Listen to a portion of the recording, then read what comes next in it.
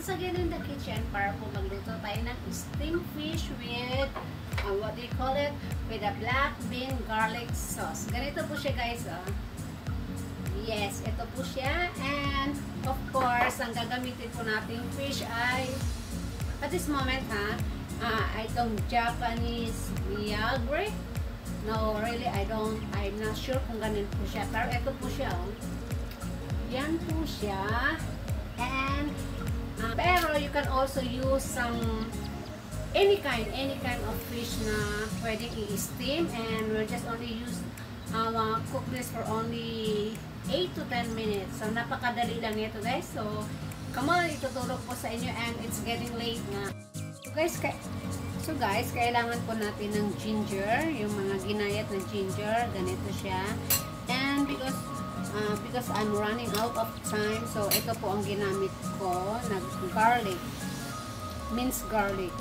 Uh, pero of course, you can use the usual one, the fresh one. And uh, i-crush nyo lang yan. I-mince nyo lang yung garlic na yun.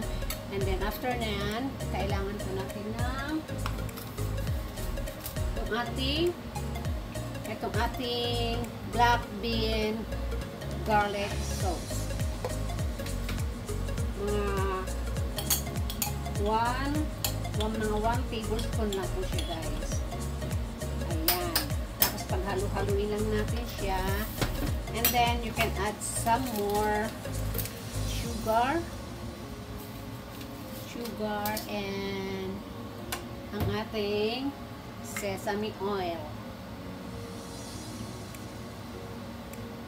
Ganyan lang. And then you just only mix together mix it well. Well, ah, sorry, Bisaya man get mix it well.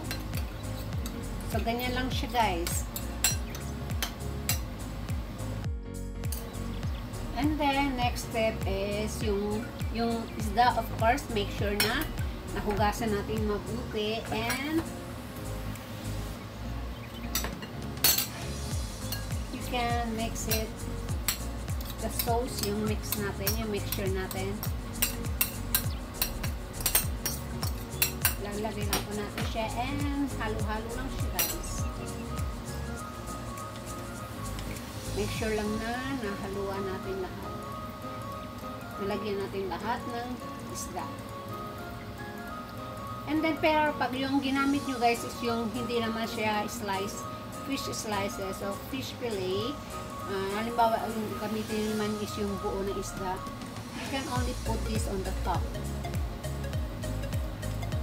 Pero ito kasi mas gusto ko yung slices kasi uh, mas ano siya wala nang tinik-tinik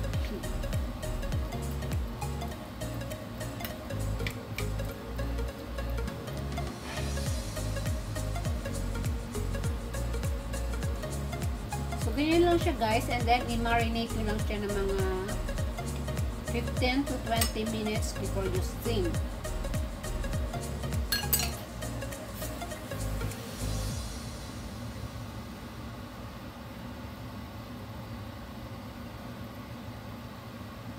So, ayan, i-marinate lang natin siya ng 15 to 20 minutes.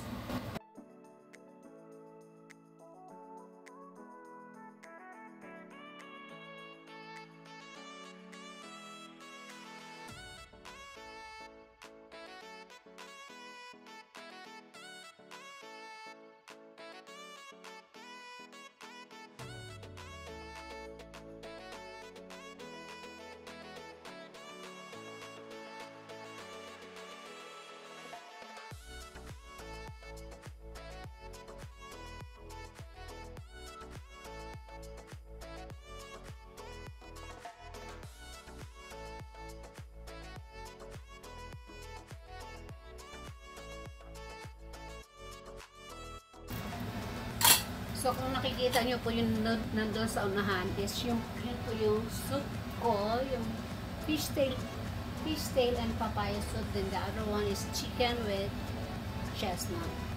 Para lang siyang adobo. May chestnut. So, yun po. And then, let's just wait for the water to boil. So guys, ayan na, kumukulo ng ating water.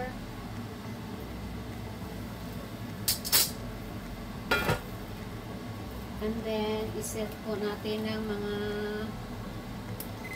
10 minutes. Ayan, 10 minutes guys ha.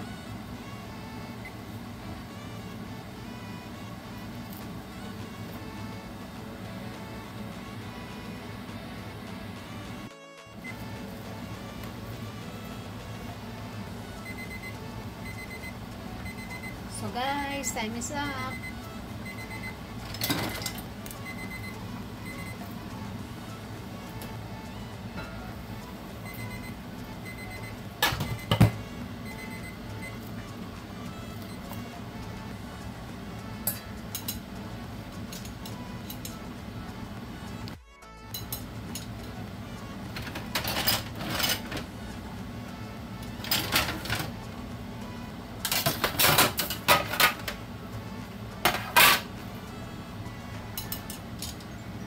Ganito siya guys.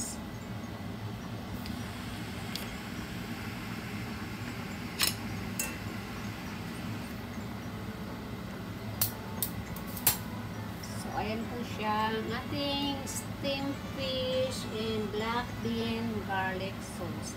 Then you can also garnish some um, green onion on the top if you like. So yun na po siya guys.